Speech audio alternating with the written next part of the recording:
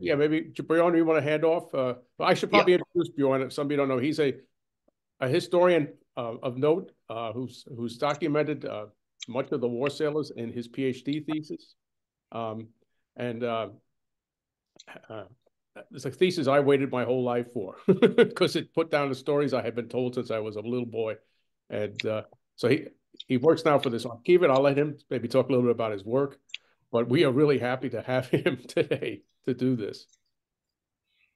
Bjorn, you want to start? Uh, Bjorn Tore, you want to start? Yeah, we'll start and we will do it together. I I believe uh, we have made this presentation together, um, the four of us. Uh, I will start sharing my screen just to see if everything works. Do you see my, my screen now? Yeah. Yeah? Yes. Looking good. Good. Um, and let's hope uh, all the technical issues is on our side uh, today.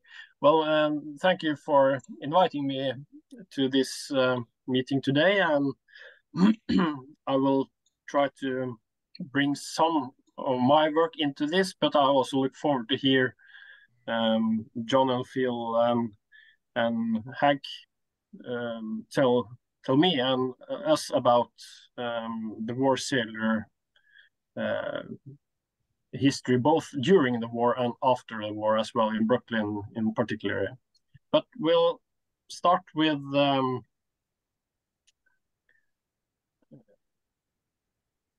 start with uh, today and the current movies that are really making people aware of the war sailors, not only in Norway, I believe, but also in America. I've I've uh, noticed that uh, Atlantic Crossing wasn't particular about the war sailors, but um, there was one scene at least concerning a war sailor.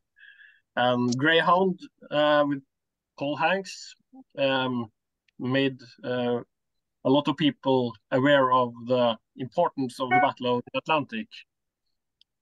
And in 2022, uh, the film War Sailor came on Norwegian cinemas, and next year went to Netflix. And this has really made Norwegian seafarers uh, and this, their story uh, bring they brought their story all around the world uh, through Netflix. And uh, I don't know if anybody of you have seen it, but um, I think it was a really good film. Uh, I was also a historical consultant on this movie, which I really believed uh, took the history very seriously uh, when making this film. And uh, uh, last year, last Christmas, this new movie came on Norwegian cinemas, Convoy, which I believe soon will be on American cinemas as well. And this is a movie inspired by the very famous convoy PQ-17, uh, which uh, was a convoy which really turned out to be one of the worst disasters of the Second World War from the Allied point of view, militarily. Uh, and this followed one ship uh, through this convoy and I hope you will be able to see that movie as well. I think when I often start my presentation about the war sailors um, by this map because I think this map really tells a lot about the the global part and the global influence uh, the war sailors and the Norwegian merchant fleet had at the start of the Second World War. It was the fourth largest fleet in the world. Um, and it was uh, not only traveling in Europe, but it was going um, on routes everywhere. So when the war started, and also in April 1940, when Germany occupied Norway, these ships were located all around the world and the great question was then, uh, what should they do? And I believe uh, possibly one of the biggest achievement from the Norwegian government um, who were hunted by the German invaders when they held a governmental meeting in um, in Romsdalen uh, near Dombås. Here on, in this house, they decided to um, requisition all the Norwegian merchant ships into one state-owned shipping company, and this is called Nortraship. And this made Nortraship the biggest uh, shipping company in the world. It also made Norwegian ship carry on sailing with Norwegian flag, and also getting an income to the Norwegian government in exile, which um, went to London, as you may know. And this also gave the government in exile both political influence and also economic strength to um, look after uh, Norwegians in exile, building up a navy, army, and uh, air defense, but also have money when the war was over. So this was really, really important. But it was not really only important for the Norwegians. It was much more important was the fact that the Norwegian merchant um, fleet had uh, a vital importance for the outcome of the Second World War. It was, I think, all Norwegian historians have agreed that this was Norway's most important contribution during the Second World War. And most importantly, I think, was transporting oil, because Norway had the most modern tank fleet when the war started, and especially before the USA entered the war, December 1941, um, it was crucial for the Norwegian tankers to get to uh, Great Britain. If not, they would possibly not have managed to to fight alone, as Churchill said. Uh, this poster says that 40% of the oil was carried on Norwegian tankers. I believe in the autumn of 1940, it was up to 50% of all the oil to Britain was transported on Norwegian ships. So this was really, really important. But then remember, the ships was not able to sail without a crew, and it was the crew that I am most concerned with, both in my research, but also uh, when I have presentations and when I speak with you today. Phil? Yeah.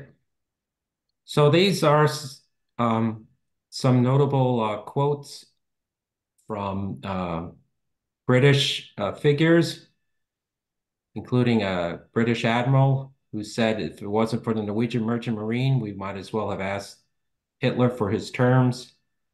Um, uh, one of the most prominent Norwegian resistance fighters, also uh, credited uh, probably the Norwegian merchant fleet as being one of the most uh, important contributions Norway made to the Allied war effort.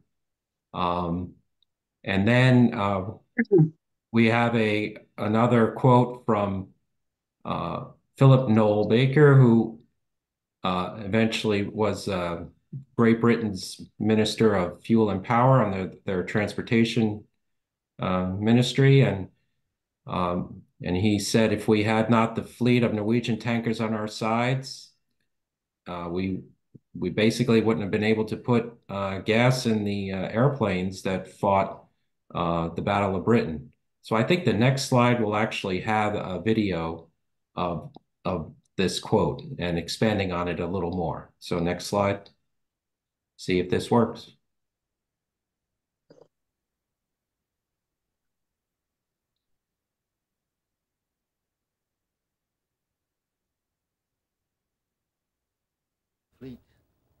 Britain and the Allies would have lost the war.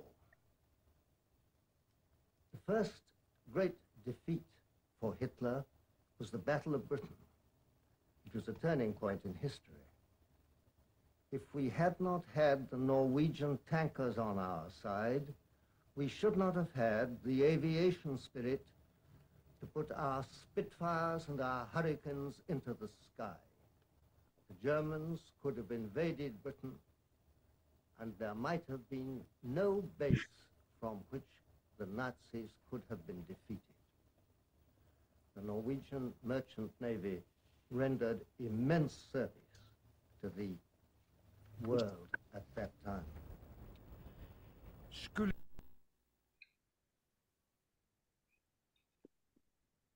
Yeah, and uh, when I did my PhD thesis about how the both Norwegian and foreign seafarers uh, their service was ensured uh, on Norwegian ships. Uh, this was one of my important uh, quotes, which I have used because joint allied actions meant that each ally will be able to say that its manpower policy was an allied policy for winning the war.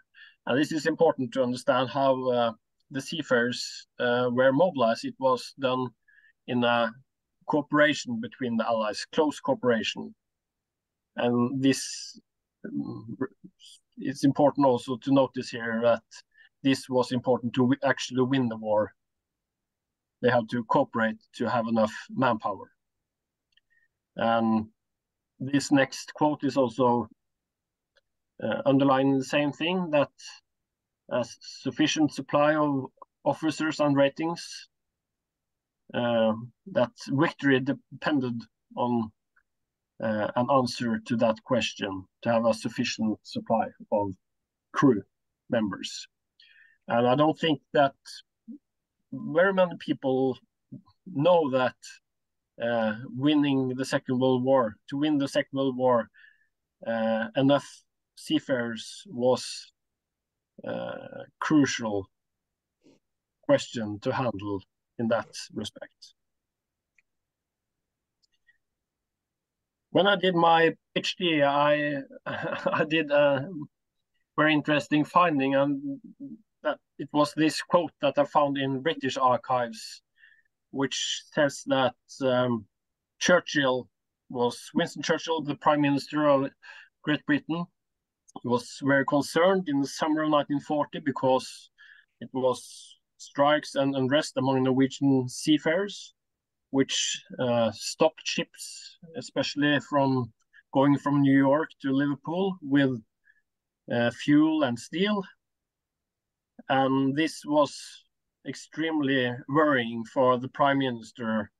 And after he um, wrote this letter, his uh, assistant, uh, I found very strong proof that a lot of both sticks and carrots were provided to the Norwegian seafarers to have them sailing.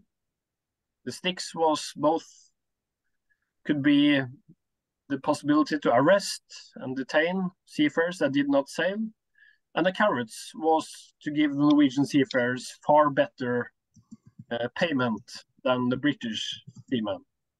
That was the very short version. Yeah. Phil, so, could you say something about the role? Yes. So this is uh, a short summary of the contribution of Norwegian's merchant fleet. Some of it we've already uh, talked about, that uh, Norway's merchant fleet was over 1,100 ships. Um, 40% of the world's independent oil tanker fleet were Norwegian flag vessels. There were about, there were, well, more than 30,000 uh, uh, seamen at the time. there were an additional 3,200 foreigners that were also on the ship. I think it's also important to recognize that Norway was involved in World War II almost from the start. Um, during the phony war period, uh, 55 Norwegian merchant ships were uh, sunk to U-boat attacks, and about 400 seamen lost their lives even before Germany invaded Norway. Um, I think it's also worth mentioning that every Norwegian merchant ship captain refused to uh, go back to Norway if they were in international waters. If you remember that slide with all the flags all over the world, um, they didn't go back to Norway, but they eventually all somehow served the Allied cause. Um, one of the um, uh, items that uh, came up was what to do with all these uh, uh merchant seamen um, if they couldn't go back to to Norway, and uh, there was a camp established in Nova Scotia to start uh, uh, training some of these seamen who wanted to serve as gunners to protect the ships from German attack.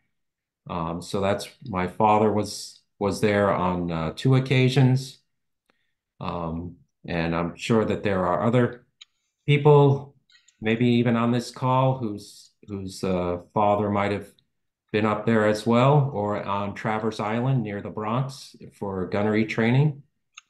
Um, but the high cost um, uh, to Norway was great because it was a loss of over 700 ships, uh, both in its home fleet and international fleet.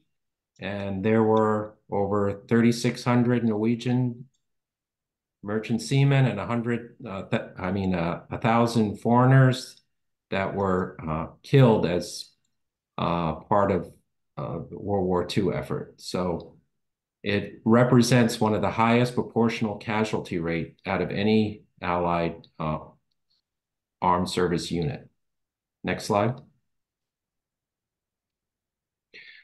So I thought I'd put together a big picture of um, what the sacrifice uh, meant uh, year by year. So you see the first two columns, that was the phony war time period, uh, where the number of uh, ships and, and men were lost. I have it both by number of ships and tonnage. And then the um, yellow line, I think is probably the most important, is the number of seamen who uh, died. Um, during uh, World War II. So you see that there is a big spike up in, in, in 1942. Um, and then by that time, as you're getting towards the end of 1942 and into 43, you're getting a, a better convoy system established that's uh, protecting Allied lives and also uh, Allies breaking the Enigma code of the Germans. Um, so that helped. But if you notice towards the end, there is a little spike in the number of ships uh, sunk by Allied forces of the Norwegian home fleet. Those are the ships that were caught in Norwegian territorial waters and were used by the Germans. So you see a little uh, uh, spike in the number of ships sunk then. Mm. I guess next slide. So uh, what I thought I would do is um, illustrate, um, you know, the sacrifice that these uh, men made uh, and the ships. It was particularly hazardous off uh, Cape Hatteras in North Carolina. Hmm. Uh, so uh, this video here, I, you can you can Phil, start. Uh, just one quick point. For many years, the Norwegian government held memorial services in the Outer Banks, which is commemorating what you're about to show us, I think. Uh, yes. Some of the ships were lost out there. And I think, John, uh, one of the ships um, your your father uh, was torpedoed on was off Cape Hatteras. The Blink, yes, the Blink, 1942.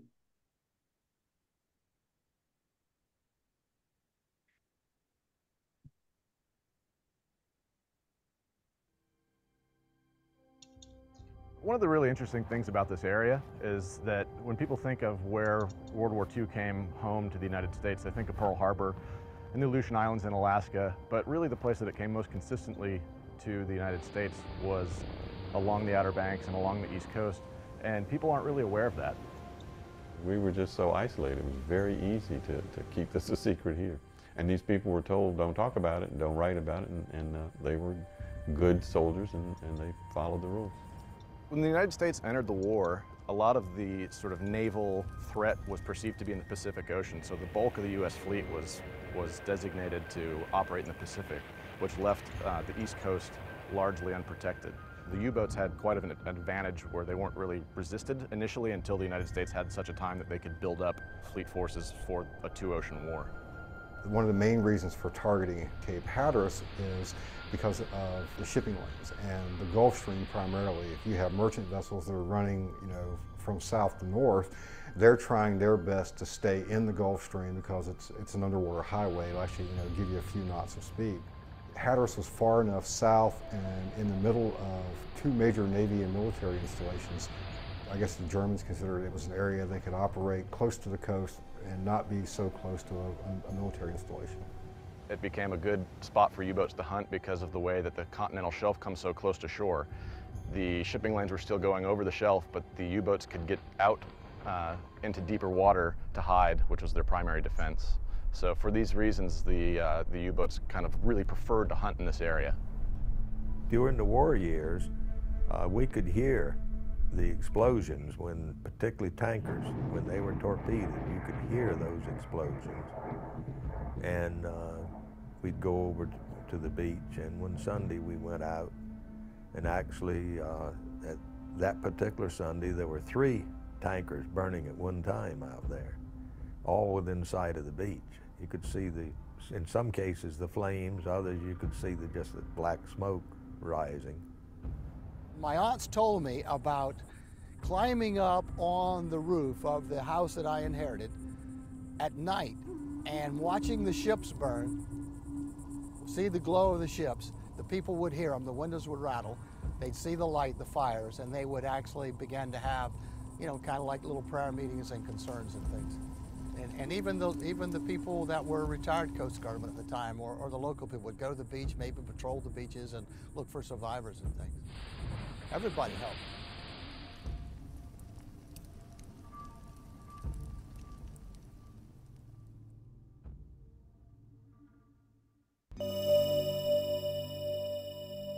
Mhm.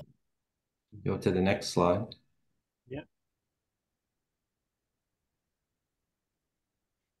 Um, so I think a couple of years ago, uh, we had a program where I talked more detail about um, my father's uh, specific service, but here is like just a short uh, one slide about it. Uh, so on the left is a photo of my father as part of his uh, British identity papers. Um, he needed, he was in England uh, while awaiting a new ship assignment. So he was on shore for about three months. So here he is, all about uh, uh 21 years old. Um, probably the only uh, suit and tie that he ever owned at the time. But anyway, he served on uh, five ships. Um, uh, three of them were sunk in the months after he signed off them. Um, he he found out uh, Norway was invaded while they were taking on a, a load of oil in Aruba. Um, so he knew then that he couldn't go back to his home country. Um, uh, fourth ship he served on during a convoy run from Halifax to England, uh, almost uh, foundered because of a very heavy winter storm. So it wasn't just U-boats, but that they had to contend with, but it was also the weather. Um, and the the ship made captain made a decision actually to go back to Halifax because the ship was so damaged. Then it made another voyage again, um, but it could barely keep up with the convoy um, because the ship's engine wasn't designed to go uh, that fast. And so when it got to England, um, it needed some parts from Sweden because the ship was built originally in Sweden. And it took a several month period uh, for those um, parts to come. In the meantime, then he decided to go back to Halifax on another ship. And then he was, the ship was leaving Southampton Harbor and it got caught in one of those uh, Baedeker raids of the German uh, Luftwaffe. So the ship had to hide in some cove while the bombing raid was going on. Uh, he made it back to um, Halifax, then went to Camp Norway, began his gunnery training, and then he unfortunately caught a very uh, life-threatening case of uh, pneumonia, and he he almost died. But uh, there was uh, a six eight month period where he had to go to a Canadian hospital every Saturday morning to have his lungs drained with fluid. Uh, he went to a recuperation hospital in Canada and then was transferred to one in the Catskills. And there he um, linked up with the uh, doctors from the Norwegian Public Health Service that operated in Manhattan. And uh, there he learned that they needed help with um, uh, office duties uh, so that the doctors and the nurses wouldn't be uh, inundated with doing, you know, maintaining appointments and all. So that's where he started his career with the Norwegian Public Health Service in 1944, and he and he stayed there until they they closed the office in the early 70s. Uh, I think would be next slide. So now it's I think up to Hank. And if everyone could, uh, who's uh, watching, if they could mute so that we can hear the speaker, that would be uh, greatly appreciated.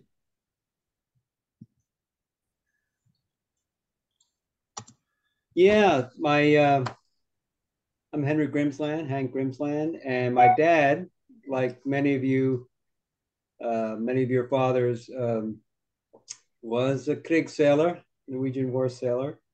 Uh, he trained at age 17 uh, to be a seaman on the Statsraad Lehmkuhl, which is a most of you know is a famous uh, training ship. Um, and he was assigned uh, as a able seaman in uh, March of 1939 on the oil tanker Davanger. The Davanger became a part of the um, the merchant uh, fleet that uh, supplied the Allies with oil. Um, so on April 9th, 1940, my dad was 21 years old. And of course, that's when Germany occupied Norway, invaded Norway. Um, he was uh, part of a convoy. His ship was part of a convoy that went from Curacao to Nova Scotia, and they joined uh, with uh, about 59, 60 other ships on that convoy. And so now I'm going to read his testimony, uh, his written account of uh, what happened on that convoy. We were part of a 60 ship convoy from Halifax, Nova Scotia, on our way to Liverpool, England. On the night of October 11th, we were the first ship in the convoy to be hit by a torpedo. Four men were able to launch one of the two lifeboats. The other lifeboat was damaged in the blast. He said, I jumped overboard with my heavy boots on and I swam towards the lifeboat. It was very hard swimming as the sea was rough. Thankfully, I was able to make it to the lifeboat. We headed east and began rowing very hard. The sea was rough and the vessel was small. I was not a praying man, but I know my mother was praying for me, which after the war, she said, I prayed for you every day. They were on the lifeboat for seven days, finally reaching uh, the coast of Ireland near the town of Broadhaven, County Mayo, which is nice because it's St. Patrick's Day, right? We can thank the Irish for uh, for their assistance. Um, some people were on the mountainside. Some of the Irish residents of that town were on the mountainside, and they came out with their tar paper boat and assisted us in getting to shore. Of course, they were exhausted, covered with black crude oil, and he said, I felt great finally being rescued. However, as soon as I got out of the lifeboat, I fell down. His legs were not used to walking. The Irish people were very kind. They fed us tea and sandwiches, and then they were transported to the local hospital to recuperate. Um, and a funny thing he said, you know, they were covered with crude oil. So the medical staff, when they after washing the crude oil off, they were surprised to find that they were blonde haired, blue eyed Norwegians. Um, after uh, recuperating, he uh, uh, they were sent to Liverpool where my dad enlisted in the uh, Royal Norwegian Navy. He trained as a gunner at the uh, training center in Dumbarton, Scotland. And from there, he was assigned to merchant ships as a gunner um, and served the rest of the war. He served, the, like many of your fathers, served the entire five years of the uh, Norwegian occupation of Norway. Um, so, uh, and then, you know, about a year before he passed away, we were talking about D-Day. And I said, Dad, did you have anything to do with D-Day? And he said, Oh yeah. He said we uh, we sank some old ships to uh, create breakwaters and for the establishment of the mulberries, which were the temporary uh, harbors that uh, that the Allies would uh, unload the supplies. And I thought, if I had never asked him about that, I would never have known that he paid. Uh, he and his comrades uh, had such an important part to play in the D-Day invasion. Um, so he was uh, honorably discharged on September 21st, 1945, which was four months after the war.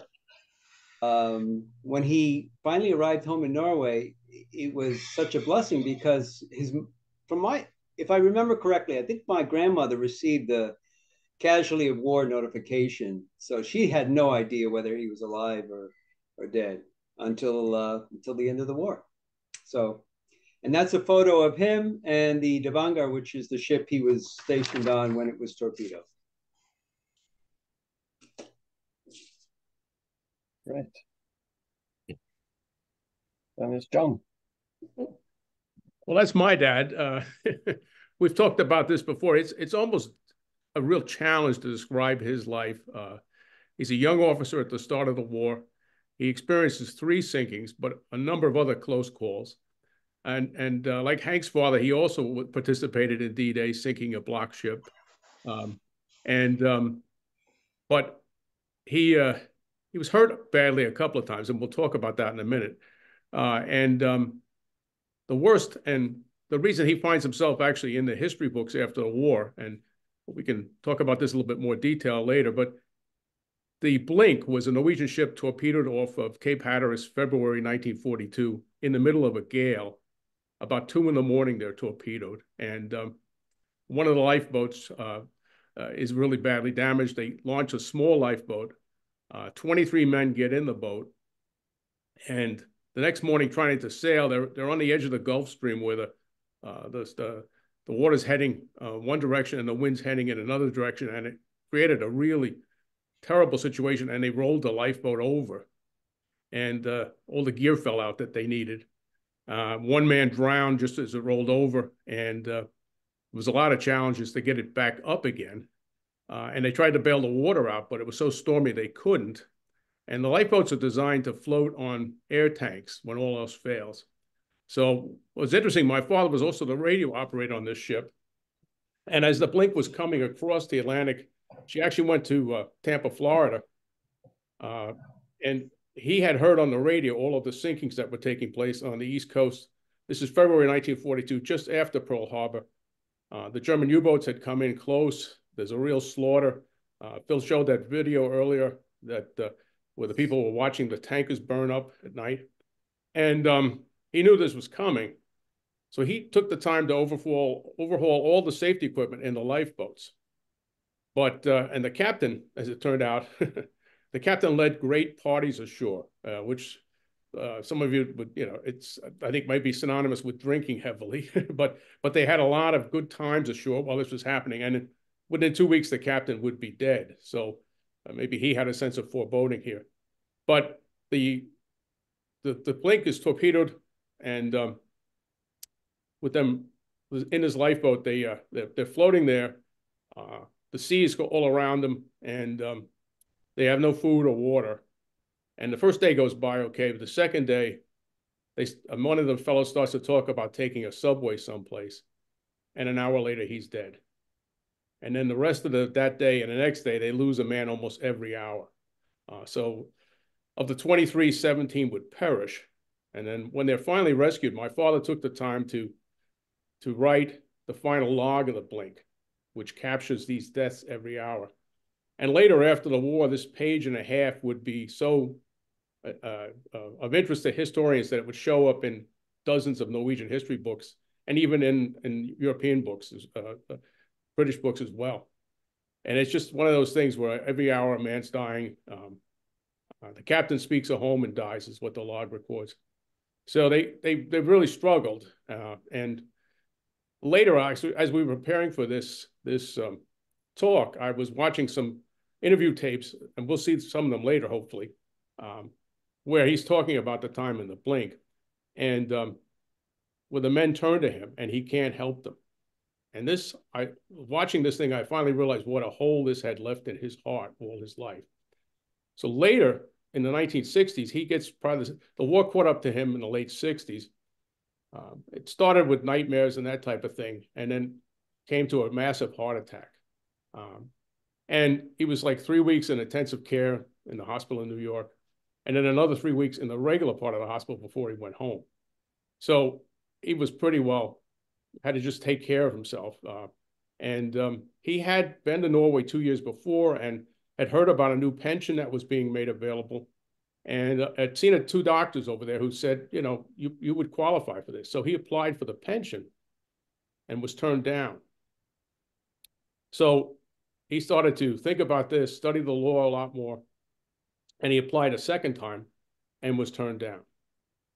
So he, he, was, he was starting to feel a bit better at this time. A year and a half had gone by. He took one more shot at it and applied to the highest court, appealed to the highest court, and won. And then he knew more, it seemed, about the, he knew how the system worked, let's say, at that point. And so he began to help other sailors. And the more of these fellows he helped, and by the time he passes away in 96, he's done 600 cases. So a lot of these sailors just were not, let's say, the type of people who know how to fill out an application, you know, or filled it out the way that the, the people in Norway wanted to see it. He learned how to fill this thing out, and people started to come from Norway to help him. But what the system was basically an honest system, although the truth is there was this real negative aspect about the seamen in general. They had to overcome a serious stigma uh, uh, and, and, and to fight for everything that they got because it was just somehow they were like the forgotten, let's say, heroes of this whole thing but they were also somewhat, let's say, very, very neglected in terms of, of, of the whole outcome of the war uh, and what happens when, you know, at the end. So anyway, helping these guys, he, he, he just got his health back.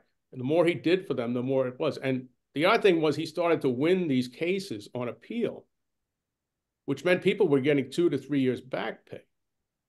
So checks for like $25,000, $30,000 were coming over. And of course, that was a made a big difference for these families. But all of a sudden, he found himself being really pressured by the Norwegian diplomatic community. Uh, and he got a letter that he was being investigated. Um, uh, there were some threatening calls and stuff, uh, and you know, it, you know, sort of wanting him to stop. And as I we got ready for this thing, I realized now, watching some of the videos of him, um, the fact that they gave him a hard time and made it difficult and made he had to fight for those men. Uh, and later he had to fight for the war pensions for the widows. Um, by they basically did him a favor because the more he had to fight, the more he got his health back. So it's an odd circumstance. You never never know when you be give, you're given a good turn in life. Anyway, next slide, please. This is some footage from the BBC uh, uh, Forgotten Heroes documentary. He's talking here about the sinking of the Norwegian ship Taranger, which was shelled and, and uh, machine gunned uh, before they got into the lifeboats. And then... Um...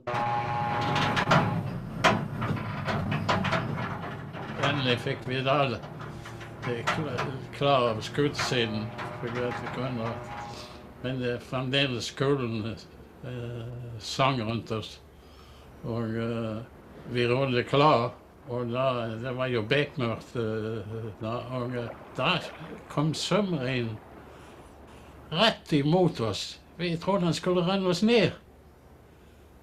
Så jeg, jeg, jeg var jo eh, i, i kommando der rom. Jeg sa ro, ro, ro, ro, så de kom, kom med klar ubåten. Men han holdt på Endelig så, så, så svingte kom vi klar han.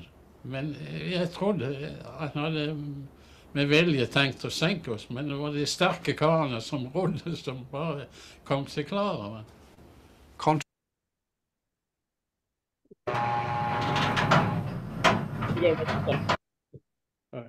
Now here's this. So that was the Taranger, which was uh, early in the war. Uh, the ship is sank.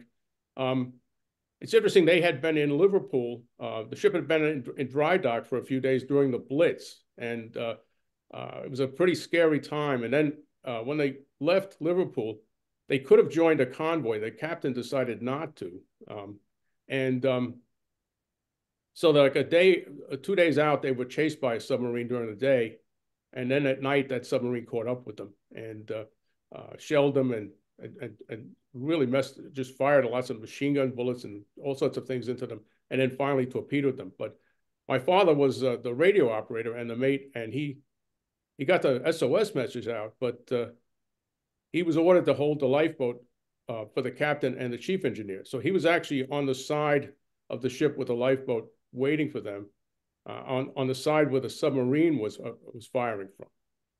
So just as they were waiting, suddenly the chief engineer dove off the ship into the sea, and the reason he dove off is he had been badly wounded and he couldn't manage the ladder. So my father asked him, "Where's the captain?" And he said the last shell had blown the captain's head off, so he wasn't coming.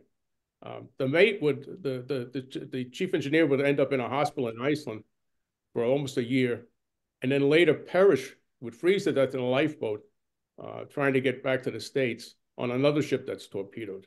So these are pretty harrowing times, to say the least. Now this this part of the video, he's talking about the time in the Blink, uh, lifeboat of the Blink. Um, when things are getting very difficult. There's a, like I say, it's a storm. Uh, it's they haven't got any food or water, and they're sitting basically in the sea at this time. Uh, maybe can can we start the start the video, please? Yep.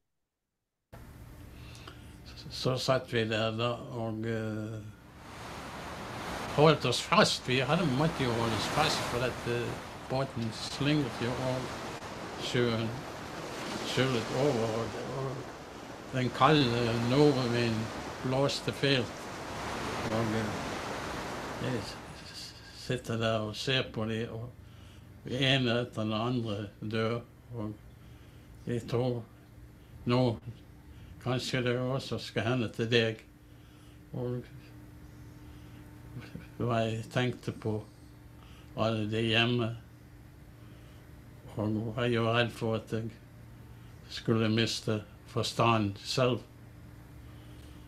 Til og med en mann som ville kle, kle av seg og spore for en injection. Siden jeg var styrmann, også at jeg, han var vant med at uh, vi ga det reaksjon for, mot sykdommer. Så han kledde av seg og, og hadde satt seg i sjøen. Og så skalv de og rystet de. Og eh, så vi holdt de på, på de, og de Så døde eh, til og med kapteinen i båten døde. Og det så så trist ut. Én etter én. Det var 17 mann i alt. På samme måten mellom mellom en times mellomrom. Jeg fikk en Maybe go an extra. Yeah. Now, this is one that the Norwegian Broadcasting System did uh, in 1994. Um, the um, basically, they're talking again about the log of the blink here, but uh, this is done in Brooklyn. Now, I think later we'll get a chance to talk about the importance of Brooklyn in World War II and how it's helped sustain the crews of these ships. I mean, Brooklyn is, at the time, I think the third largest Norwegian city in the world. and it has a, a real a role. My father, after the blink, he spends time with a Norwegian family. Um, and um, it's kind of a uh, an interesting situation. So, so the, I think the NRK, the Norwegian Broadcasting System, recognized in the 90s the importance of Brooklyn. So he's filmed in Bay Ridge looking out at the sea here.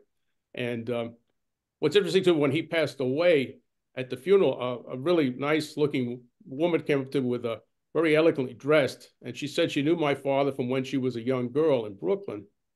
Uh, he had been, her father was an Italian tailor and he would make my father's uniforms. And she said, your father frequently needed new uniforms. And that's because every time the ship was sunk, he, he had to get new clothes.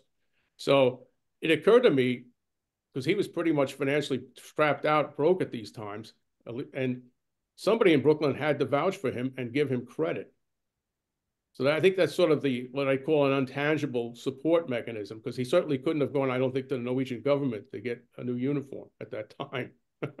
Any rate, Brooklyn plays a pre-roll. Now this is going to be in Norwegian, so I don't know.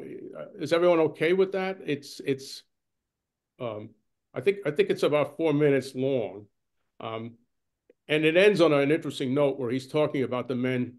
All right, uh, there's a narrator who's reading the the log, and and then he's inter interjecting at times in it, um, and um, this is the one I was watching when I realized how important helping the other sailors was to him getting better.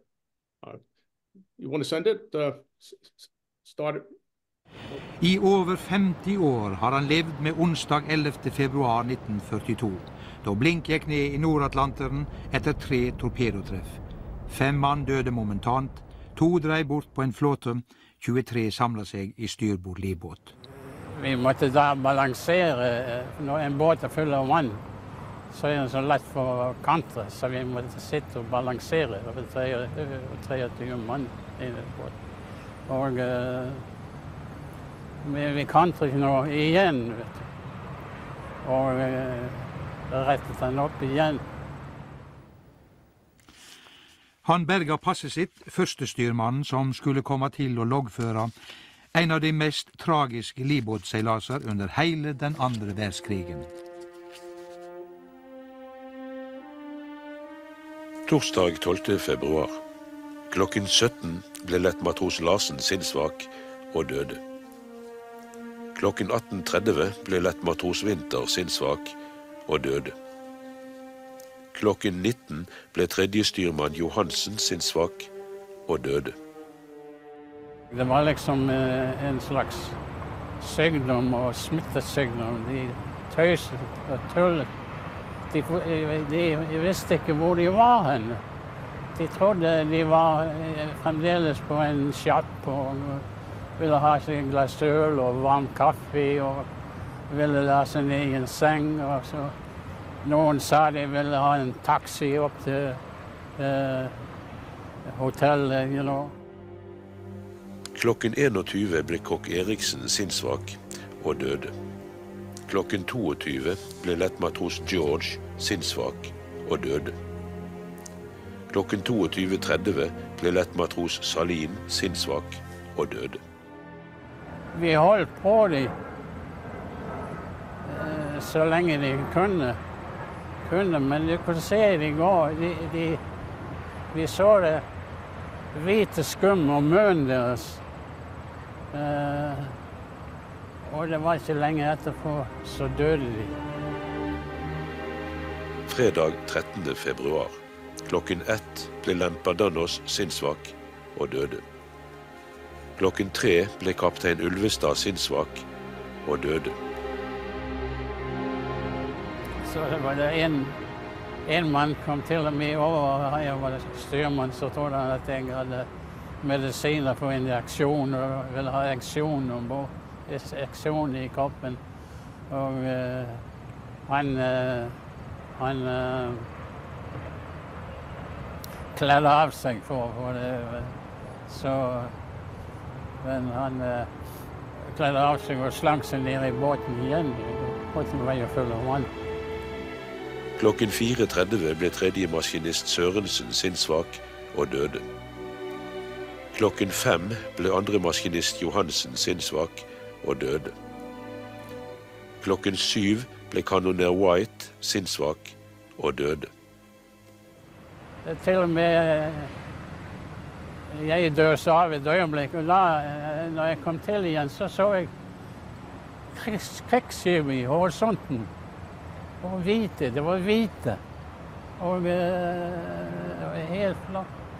Jeg uh, forstår ikke kan, jeg kan, til og med eh, se det bildet i dag. Det er stille i mitt eh, syn. Lørdag 14. februar. Klokken 4.30 ble fyrbøter Kvia sinnssvak og døde. Klokken syv ble matros Plum sinnssvak og døde. Klokken ni ble matros Hennum sinnssvak og døde. Det sterkeste, det sterkeste overlevde. You know, And, uh... Klokken elleve ble fyrbøtta Larsen sinnssvak og døde. Klokken tolv ble andrestyrmann Feit sinnssvak og døde. Håpet. Så lenge du har håpet Håpet der. Så, men hvis du mister håpet, så mister du også ja, for mange livet. Men det var, det var håpet. Og det, det kom til slutt.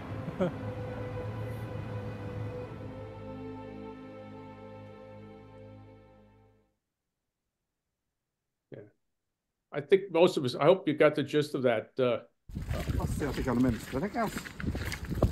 so, uh, in the last little bit he's saying there is that uh,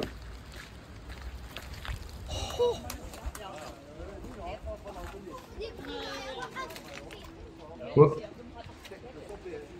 Okay.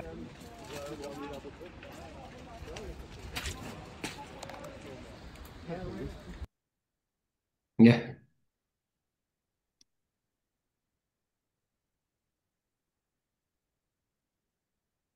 Okay, hold on.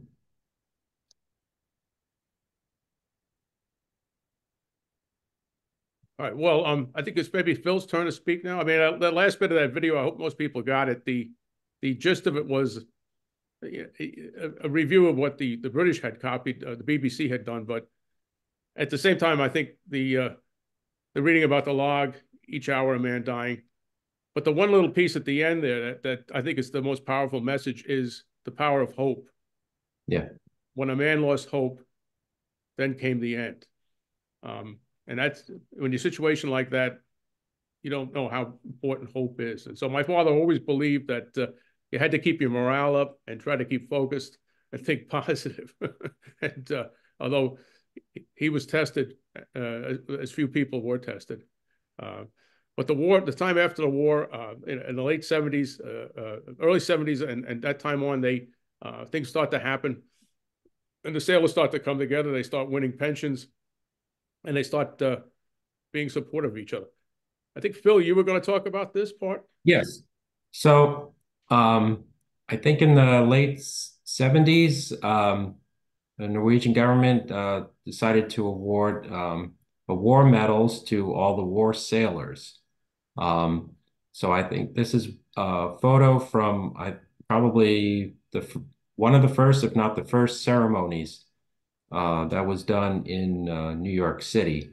So um, at that time, uh, seven war sailors uh, came to accept their medals. So what's on the left is their certificate my dad got, and then on the right is the actual medal.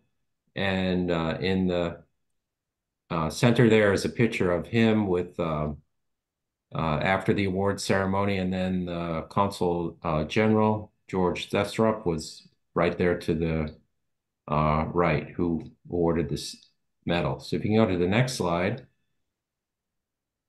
Um, the Norwegian uh, newspaper in Brooklyn was the Nordisk Tidende.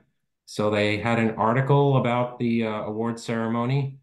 And so there's a photo of the, the seven gentlemen. So you could see uh, John's father all the way on the left, kind of my dad's in the middle. Um, so it just it just relating what what happened, um, and then some kind words John's father had for uh, Norway, and and um, I I always thought it was kind of nice at the end they said Walter Erickson and his orchestra provided the uh, musical entertainment at at the end. So for those who are from Brooklyn, everyone you wouldn't recognize the name Walter Erickson. so I, I guess you can go to the next slide. And so this is, I think, illustrating uh, John's point, uh, uh, connecting Norwegian war sailors in the United States. Uh, and it was through social gatherings, uh, the creation of advocacy organization, and then also newsletters. So there were two associations that were created, one for those who were uh, Norwegian Navy war veterans, and then there was ones that was war sailors. They were the merchant seamen. So my dad was part of both organizations because he was both a merchant seaman and then he uh, transferred to the Norwegian Navy to be a gunner on a merchant ship. So on the left, you see a photo from one of their many parties uh, from 1989. And again, you can see John's father kind of in the center, standing in the center. Uh, my father is uh, third from the right. And um, I think Hank's father is, is somewhere in that picture too. Yeah, he is.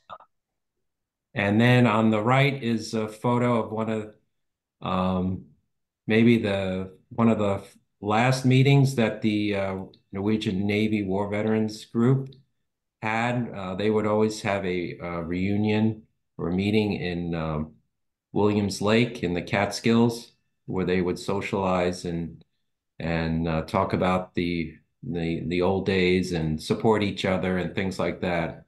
And uh, the wives were also invited too. We go to the next slide. So this was a program from the 25th anniversary uh, dinner party for the uh, Norwegian uh, merchant seamen. And uh, it gives a little history of the club. You can see it was first started in 1971 and then formalized in 1973. And if you know, John's looks John's father was basically the president almost the entire time this this party took place uh, in 1996. Um, so uh, I just highlight two, uh, hopefully, you know, uh, funny things. One is that uh, on the left side, you see that they had an open bar. so no, no cash bar. And they always uh, had some sort of uh, musical entertainment at these events where there would be lots of fun and dancing. So Sonja Dahle was also another prominent uh, and Norwegian American entertainer in the Brooklyn area. So the next slide.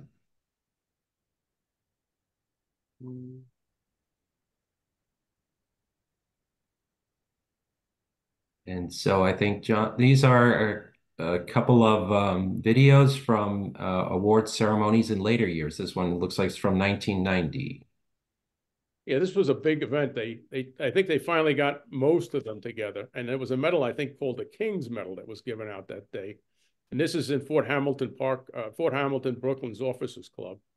Um, the uh, I don't know who the man behind the mic is, but the the one fa the man facing us is is uh, the Consul General uh, John Bornaby. He went on to become the ambassador for many years to Japan for Norway. So he was a, a very and a great friend and, and supporter of the sailors uh, throughout the years he was in New York.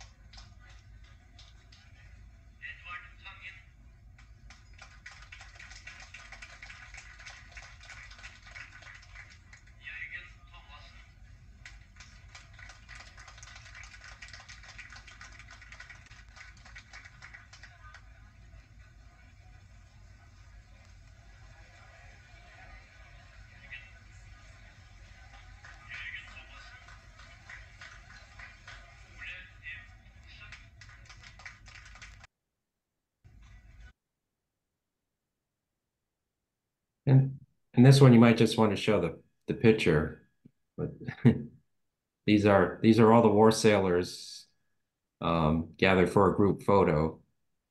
Looks like on the patio of the Officers Club at Fort Hamilton. Yeah, but the uh, bridge in the background there. Yeah, they uh, they would party hardy after this too. By the way, there's a real sense of healing, I think, going on at this point, and fellowship.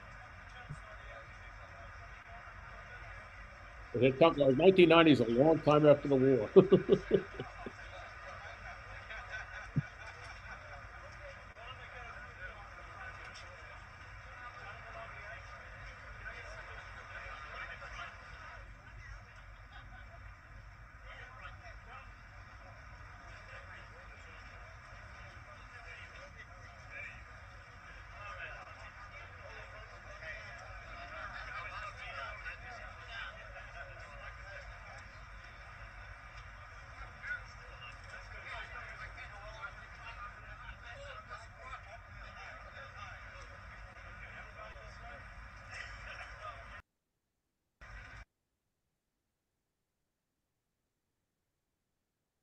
Um, and we may want to uh, skip uh, pass through some of these. Um, this, uh, yeah, there was always a um, contingent of war sailors that marched in the 17th of May parade uh, held in Brooklyn.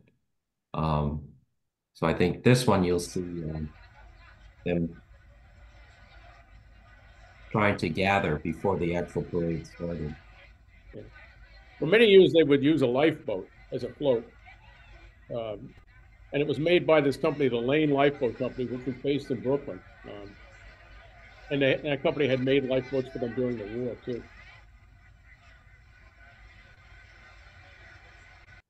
I don't know if that's the lifeboat, but hey, we don't need to see this one. This is just marchers.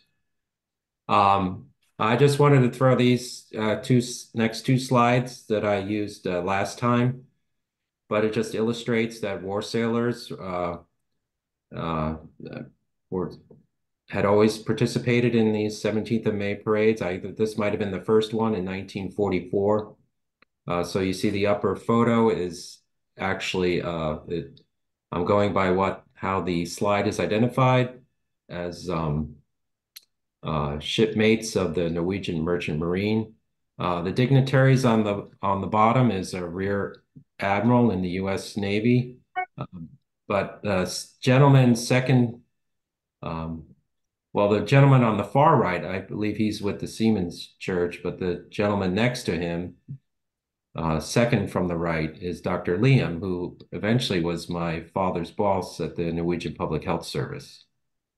So we can go to the next slide, and you'll just see more shots of um, uh, Norwegian merchant uh, seamen marching in the in the parade and uh, call to your attention the center one, which is uh, um, Royal Norwegian Navy uh, trainees at the gunnery school in Travers Island in the Bronx. So the gunnery training mission shifted from Camp Norway in Nova Scotia to Travers Island in in uh, June of 1943. Um, but it, because most of the convoys kind of originated in off uh, New York Harbor by that time, and then uh, by 1940, uh, by July of 1944, this gunnery school was also closed because then the whole mission shifted to uh, Dumbarton in Scotland because I think they had enough uh, gunners on merchant ships by this time. So you can go to the next slide. Um, this is one of the uh, monuments in the United States uh, dedicated to remembering the sacrifice of uh, Norwegian merchant seamen and Navy personnel. Uh, it was originally dedicated in 1982. This is in Battery Park in the tip of uh, Manhattan Island. Um, so it was moved in uh, 2005 so here is the king coming for a uh, rededication ceremony. And uh, my father got to represent uh, the Royal Norwegian Navy uh, World War II veterans. So you could see him there in the tan trench coat and little baseball cap.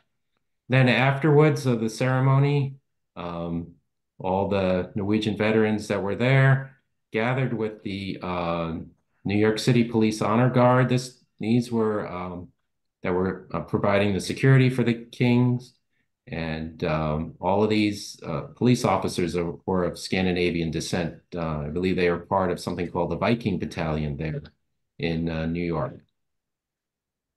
Go to the next slide. Yeah, this was a slide I wanted to make after seeing the slides from Battery Park, because I am in the last 15, 20 years, there has been a lot of new monuments in Norway commemorating the the war sailors. Uh, you see all these places, uh, different types of monuments. Most of them has been raised by private people, institution, uh, not private, not uh, not the state or the counties, but uh, private initiatives behind most of these monuments. But uh, possibly most important one is the ship that you see here. It's called Hestmannen. It's a ship that sailed in both the second, first and the second World War uh, for Norway, and is now a war sailor museum, but also a monument of uh, the seafarers from both world wars. And then you have this monument in Fana, John. Would you speak about?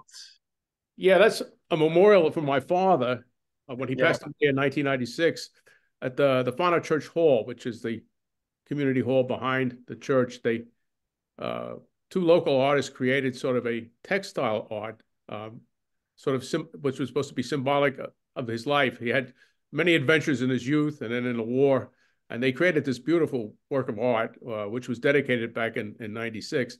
And this summer, I got to take uh, my grandchildren there, so that my four grandchildren are looking at his memorial, and uh, it's a very special moment for all of us. Uh, to see the memorial there. But it stresses that uh, he was the, the, the war sailor, is one of the, the plaque will say, and uh, born there. And this was the church where he was born and baptized, and the school was actually attached to it when he grew up. And uh, and of course, he had a funeral there too. So it's uh, we were very uh, the, the, the fact that this one space was available for us was was uh, it worked out very beautifully to to place this memorial there. Hmm. And in Norway, the, um, the, increased awareness of the war sailors the last 15 years uh, also resulted that we, in my institution, the Arkivet, um, wanted to make a digital monument to commemorate, but also to document the history of all uh, the Norwegian seafarers, but also the foreign seafarers on Norwegian ships. Uh, so that's the reason why we so far have, have registered 70,000 uh, seafarers uh, and also more than 5,000 ships. Um, this is a site called Krigsseilerregisteret, which means War Sailor Registry in English. And um, I will just briefly tell you what you can find there because you can enter the site um, on internet afterwards and look for yourself. Uh, here is one thing you can uh, go into and see the map of all the ships when Norwegian seafarers uh, were uh, located when their ship was sunk. Uh, and uh, as you see, it was especially in the Atlantic Ocean where a lot of ships went down during the war. And then you can click on the different ships and learn more about what happened to it and and what crews that were on, on board when it took place. Uh, every single seafarer that we have registered have this kind of page where we document uh, data from the person, um, person data, but also uh, information about uh, the person's service in the Second World War, uh, which ships he sailed on, medals he received. We can also receive, if we receive images from relatives, we can post that. Uh, and also, uh, um, yeah, documents like diaries or letters that children or grandchildren want to to share with us. And yes, here you can see uh, John's father's, which ships he sailed on. And uh, I think something that really has uh, interested many people has been the possibility to to read the maritime inquiries that we have digitized and connected to every seaman that has been going through a shipwreck. Um, so then you can read, uh, and this this is often written in English, so it is possible also for English readers to to read a lot of of those inquiries. Um, and something that um, by register this into a database, we are managing to get some new information about who the war sailors were. And we are not finished yet, but we have finished those who sailed for the uh, Norwegian fleet, who sailed for the Allies, for Nortraship. And this shows that there were about 30,000 Norwegians and 30,000 foreigners. Though the foreigners did never um, constitute more than 25% of the total crew because they were on board on a shorter time than the Norwegians. We also found more than 350 women that sailed on Norwegian ships. Uh, the greatest foreign group uh, was the British, more than 14,000 British seamen. A lot of the, them were gunners, of course. And we have uh, managed to document that nearly 5,000 died during the Second World War uh, that sailed on Norwegian ships. That doesn't mean that they were killed uh, at sea, everybody, but they died of different reasons. Some of them at sea, but also a lot of them died by sickness, uh, more indirectly, perhaps because of the war.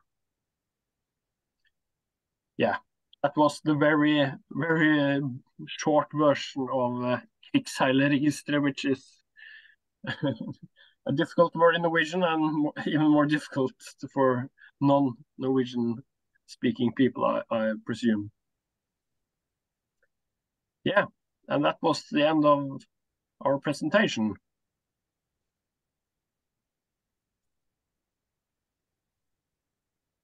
Yes, I. Thank you. Uh, Thank you. And uh, I'd like to open this up for questions and comments from the group. Hello, uh, this is Paul Rude, and um, I did um, um, term papers in graduate school at the University of Wisconsin on the Norwegian Merchant Marine, one on World War One and one on World War Two. And I thought it was interesting the parallels between the two, because in World War One, Norway likewise had the world's fourth largest merchant marine and likewise, half of it was sunk in the war by the Germans. And um, and so this was a huge um, this was a huge deal. I I just um, I, I just wonder uh, perhaps this needs some study. When I did my term paper, there was already a massive 400 page book on the subject of the Norwegian merchant marine in World War One, talking about this but I wonder if there might be uh, um, thousands of more stories out there that perhaps need to be collated or perhaps some attention given to also. Um, so half of the Norwegian merchant marine was sunk. I wonder if that's one of the reasons they had so many new ships in time for World War II, so many tankers, because having lost so many old ships, they were able to uh, buy into the newest trends. That's all I have.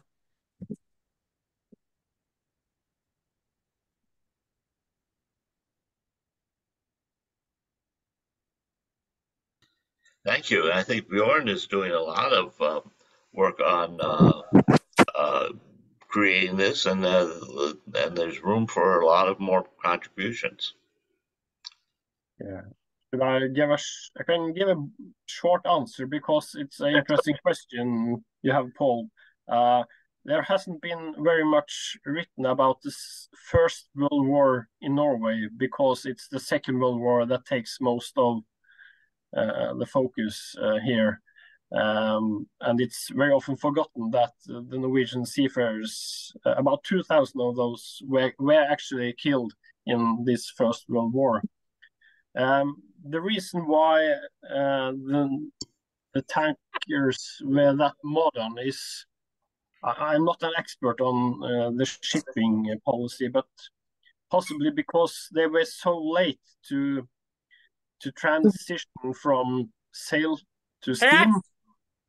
Uh, poss possibly they were eager to be more uh, quickly to um, to adapt to the to the new situation where the steamship were um, uh, the transfer over to motor ships.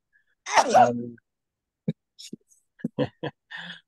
um, so that's possibly one of the reasons uh, why, and also I think uh, the Norwegian shipping uh, uh companies were at this time they were very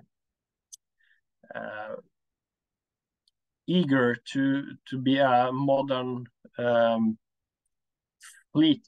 Uh, also, not not least in the eastern oceans, a lot of Norwegian ship, shipping companies they had ships going on in Asia on the China trade. Uh, so it it was a very outlooking kind of uh, business, I believe. But uh, um, I haven't any better answer than that. Sorry. I, Well, I might add something. um, I noticed that um, uh, the Norwegian government participated in the rebuilding of the fleet after World War One, and they may well have done so after World War Two as well. In other words, to help the shipping companies make up for the fantastic losses they suffered. Go ahead. Yeah, Sorry. I I agree. Um, by losing a lot of ships in the First World War, they received money from insurance to buy new ships in the uh, 1920s. So that's that's a good uh, a good possibility. Uh, after the Second World War, the Norwegian ship owners also received a lot of money from insurance and also from Nortraship. Uh, so they this gave the possi good possibilities for the shipping companies to grow also after the World War II. Yeah. I might say something. My my father's story was that, uh, well, I, I think it's difficult unless you grew up in the it, with all this stuff. The the shipping was so important to Norway. Like my father is basically sent out. He's got uh, five siblings. He sent out basically to earn money to help them. You know, and I think that's true for most of of the sailors. They're sending back money that's very very important to a country that's pretty poor at this time. But the ship owners were very clever businessmen, very serious.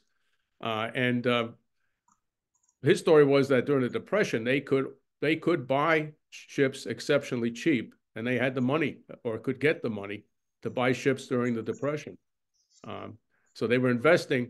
Um, and one of the things I think he, the reason he survives the war in part, all those sinkings, is he's very well trained. I mean, and uh, and the ships are well equipped. They actually have a lot of emergency equipment, uh, modern things, um, and and so these are these are businesses that are investing in in the better technology and things like that. So the tankers, you know, uh, it just turned out that they happened to uh, pick that time to make their investments, uh, and and it worked out. You know, for the it was a, a God saving thing for the British. Yeah. Um, and and just to add two cents, I mean, it was also um, with the tankers. I mean, you have to understand that both the automobile and the aviation industry was just starting to grow. Um, you know, it was not a lot, you know, before World War One, uh, but then when you're getting into the 20s, um, there's more need for aviation fuel, which you know, then spurs investment in uh, buying tankers, et cetera. Mm-hmm. Uh, Edward has his hand raised. Do you have a comment or question? Yes, thank you. Very interesting presentation. I, I appreciate it. And I did some research last summer on World War II Norway, the occupation. And I was just wondering for the war sailors and their families, were there any repercussions from the Gestapo or the the Norwegian, the the, the Nazi Norwegian under Quisling, the police that uh, those at home? In other words, when when uh, were there investigations that the names of sailors and their families that were somehow the families back in Norway? Were there any uh, persecution or arrests made by the Gestapo because they were war sailors? Thank you. I may answer that. Um, it, it wasn't any that kind of reactions, but um, in 1940, when ships went down and medals were uh, provided to the seafarers, this could result that uh, money was held back to the seafarers' family uh, by the Nazi regime. So that was one reason that this kind of information was not uh, made public in Britain uh, in late 1940-41, I believe, uh, to to ensure that people back home were not suffered economically. But I, I do not know about any people that were interrogated or arrested because of um, their family members being war sailors.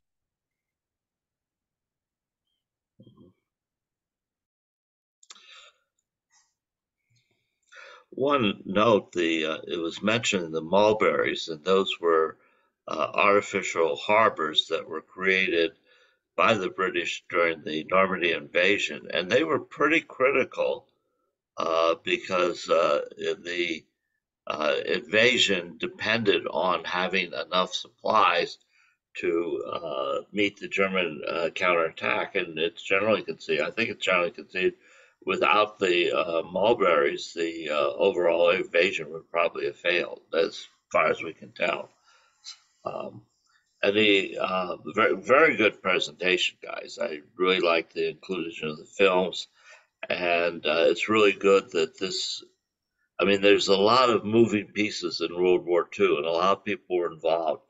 But one of the critical elements, I think everybody agrees, is the Battle of Britain and the ability of uh, Britain to face the uh, Nazi threat and the importance, uh, clearly, of the uh, Norwegian tankers. And one thing is that German uh, captains, uh, U-boat captains, were rated and praised for their tonnage sunk, and the biggest ships out there were the tankers. So they were the if the German uh, U-boat captain saw a uh, fleet, he would go directly for the tankers because of the uh, high tonnage. So, any other thoughts? Well, one thing about the tankers, to... the uh, they put deck cargo on them on top of they once they got the fuel in them, they also loaded a deck cargo on top of the tanker. So it was like, and the income for I was always told from the deck cargo went to the Norwegian government. Uh, and typically throughout the war, they dramatically overloaded the vessels. The, the, chances of being sunk by a submarine was seen as much greater than being lost in a storm. So they would go way over there. Was the the the the the, the, the, the safe tonnage level? Uh, try to get double the amount of cargo on a ship, just because each time they got one across it was a big deal. I mean, I think one of the reasons uh, that a lot of this recent interest in the movies and stuff out of Norway is that the historians are slowly takes the stories a long time to sort of digest and sort things out. Something as big as World War II, as you're saying, uh, Bill, is just really difficult to get your hands around. But now I'm reading historians saying the Battle of, La of the Atlantic was the critical battle, that it was pretty much mismanaged, uh, and that if it had been handled better, uh, the war could have been a year shorter. So there's a, a real issue, you know. And my dad used to say the the people just thought that the, the equipment showed up. You know, they didn't realize the, the challenge to get it there. You know. um, I was going to say that uh, what you said is very true because uh, Churchill, uh, in one of his books, says that the only time he was really worried was during the Battle of the Atlantic. That's uh, he, he kind of knew that they wouldn't be able to invade England from from the continent, and uh, um, so he's he's certainly very much into that. I must say also that uh, growing up in Norway in the 50s and 60s, it's true that at the time there was very little talk about it. Uh, I had a friend, his name was Per Strand, and his father, Strand, and you guys may have run into him, was very active in that and working for the government. He was an officer, but he also he dealt with divorce sailors. But to me, the big, uh, and this is very personal, not not maybe that important, but uh, or obviously not that important. But the first time I really felt that there was a change in the attitude towards all of that was when that book came out, which was called Every Tenth Man Had to Die. And I think that was the first time we, and of course, me as a young boy, that you suddenly realized that because until that time, and you know, especially for little boys, the exciting thing was the pilots and you know, the destroyers and all that stuff. You know, being on a tanker wasn't seen as, uh, you know, we didn't, of course, we didn't understand the big picture, but uh, but that book to me is also one of those World War II books, at least in the Norwegian context, which really kind of turned the whole the whole way you looked at those years, which were not that far away when when I grew up. So. I had an interesting experience last summer. One of my cousins who could remember my father returning in 1946, he was telling me that uh, despite all the things my father had been through, he was very healthy and quite fit. And uh, and uh, he was actually going to. My father went back to go to the captain school. He felt that contrasted with the sailors coming back that were coming back right into Norway, and he felt the difference was that my father had now an American family that had supported him during the war. Mm. and what was interesting was he went on to talk about um, um, the, the, the, the family, like my, my father was wounded on the, when the Oregon Express is, is sunk and he ends up getting some major surgery on his back. And my grandfather, who was a retired New York City policeman, brought him home from uh, the hospital and uh, to live in the house in Staten Island. And all of the neighbors, I guess, got involved because this cousin in Norway could tell me the names of neighbors long dead, who I guess had at the end of the war had sent stuff. And my mother went over in 46 um, and they they had uh, my grandfather had connections with the uh, black market, so they were able to get ten large crates of food to take on the ship with her, and and lots of clothing, which my grandmother then gave out to the community there, and uh, so he knew all the names of people and such, and and I, I suddenly realized the involvement of that sort of Norwegian American community and and um, uh, and, and helping out there. You know, it's it's a it's a different story. But his perspective was the, the unfortunately the sailors returning to Norway who hadn't were in bad shape were coming back to a country that had been occupied for five years and had gone through some terrible things. Um, and then sailors just still still didn't have that sort of an image of, of, of you know positive thing. Uh, and of course, they were all dealing with sort of post trauma and, and many other difficulties, uh, medical wise. Um, so it was an awkward, tough time. But he felt the American experience on a, on a whole. I wonder maybe Phil and uh, your dad also had benefited from being in the States.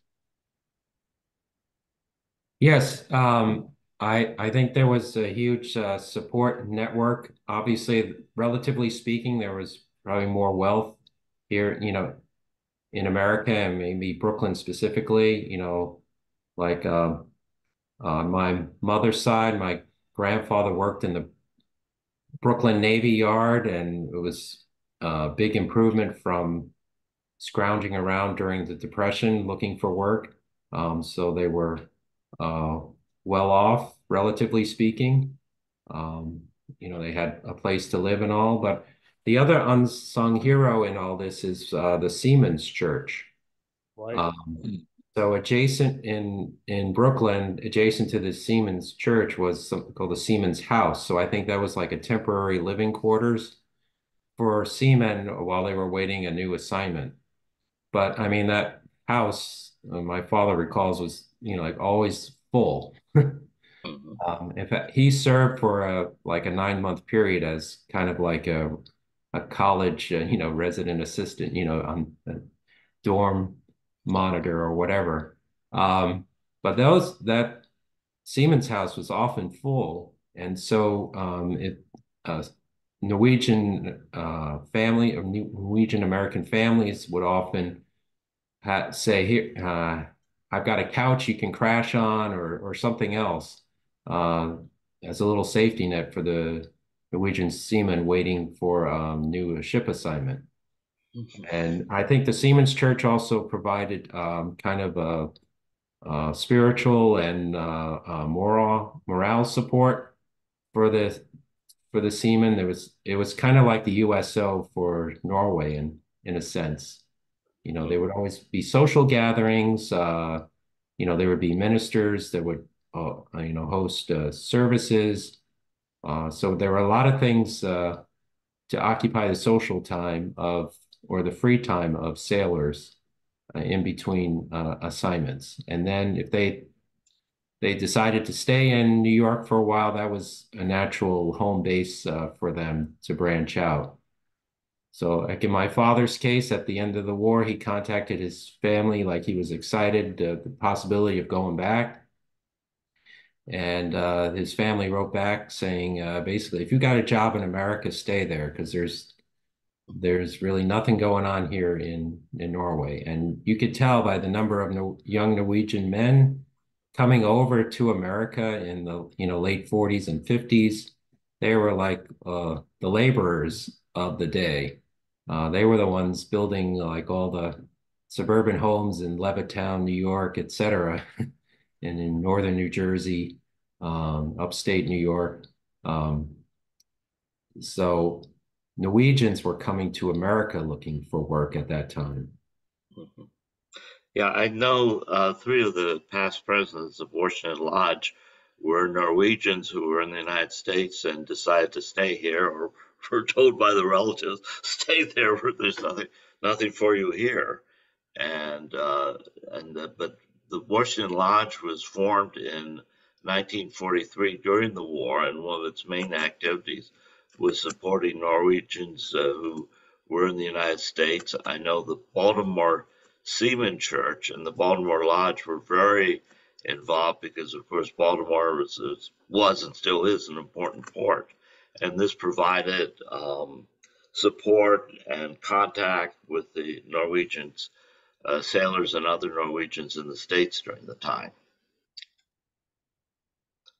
Um, I apologize for the confusion about the Zooms. That won't happen again. For those who end up late, I assure you we'll try to get the uh, video on the YouTube channel so you can uh, listen to the parts that you missed. Uh, we're going to have a very good program in April. Uh, and Janet, would you like to talk a little bit about that? Sure. So um, Chris Humphreys is going to talk about his mother. He is my narrator for all three of my Norwegian novels set during World War II. And we met at a couple of historical novel conferences a couple of years ago, and he suddenly realized he's asking me questions about my research, in particular the naval British intelligence maps I could get at my uh, local college library. And it turned out his mother was in the resistance. So he's going to be talking about his mother with Inga Gerd Holter. And the Holter family were actually a very well known theatrical family in Oslo.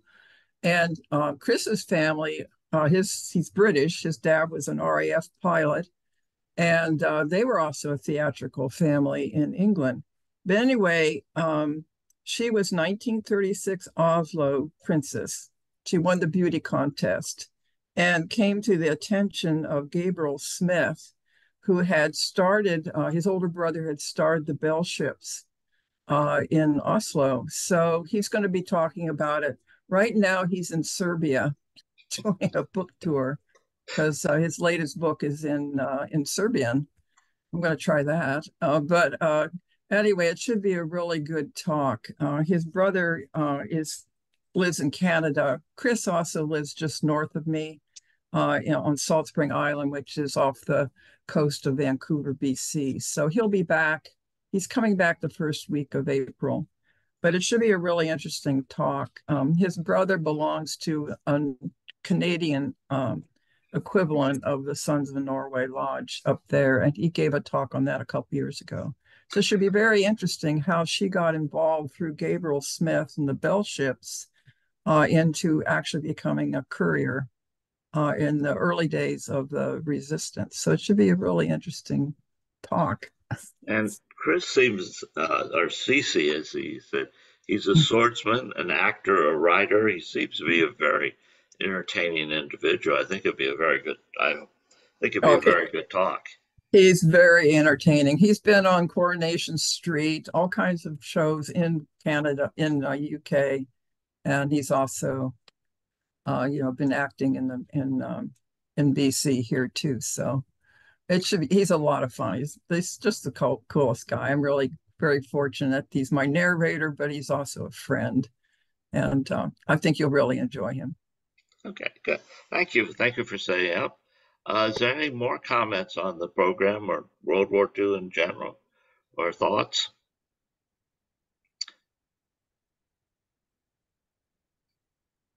So uh, Oh, I again, just- Bill, I, Yeah. I just wanted to amplify what uh, was mentioned a little before because there was more than just the number of Norwegian seamen that were killed, but there were about 6,000 that were wounded, sick or wounded. Um, and then some of those did uh, eventually perish. So there are some sites in in America, like if you go to the Adirondacks and Saranac Lake, that's where a lot of Norwegian seamen who contracted tuberculosis were sent there to cure cottages mhm. um, to recover from uh, tuberculosis. Um, my father had pneumonia, so he was sent to, to a hospital in the Catskills. But anyway, there's a cemetery there. Um, uh, there are 16 uh, seamen who uh, uh, didn't survive tuberculosis. They're buried there. Um, and that part of the cemetery is, you know, maintained every year by uh, the Norwegian government. Hmm. It's it's more than just, you know, sinking in the uh, uh, you know, in the ocean or being torpedoed. You could have contracted some uh, horrible disease and you died in the service of your country. Yeah. Uh, very true. Any other comments? So uh, thank you for.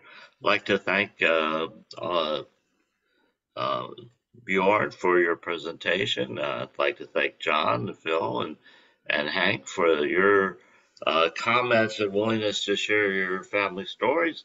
I'd like to thank everybody for participation and hope to uh, see you guys at the uh, next meeting. So, and if you have suggestions for meetings, I'd, I'd like to hear them. So, uh, any other last comments? Thanks, you guys. Excellent. Thanks. Great talk. Okay. Bye. Thank you. Bye now.